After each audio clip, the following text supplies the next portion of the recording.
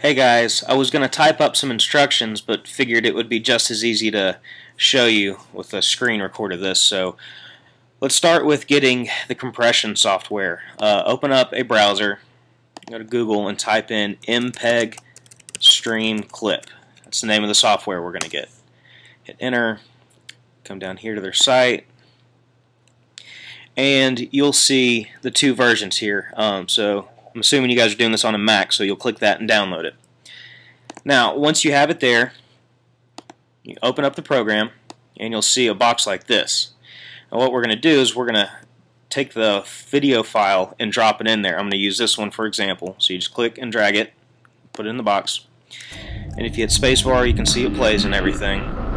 Um,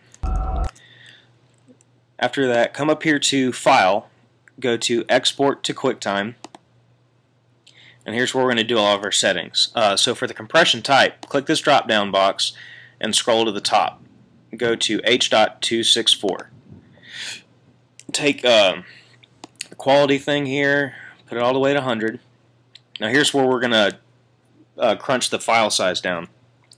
Uh, so let's start with a data rate of, let's try 4,500. 186 megabytes.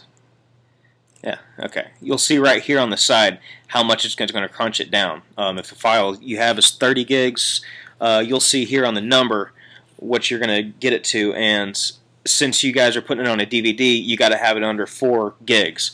So if the number here is over 4 gigs, then just make it a smaller number until you get underneath, um, you know, 4 gigs so you can put it on a disk. Alright, for my example here, I'm going to put 4500 uh, on the sound, click that, go to MPEG-4 AAC, click that, come over here and change it to 192 and that'll help with the file size as well. Um, on your frame size, leave whatever option says unscaled on it. Uh, it should default to what it it already is, uh, but leave it on whichever option says unscaled. Uh, come over here where it says interlace scaling and deinterlace video. You want to deinterlace it and you don't have to mess with any of this stuff. So we'll come down here, we'll click Make Movie, and it'll bring up, you know, a little save thing. I'm going to put test in that name, and go ahead and uh, click Save. Um, oh, looks like I already have that. So, there.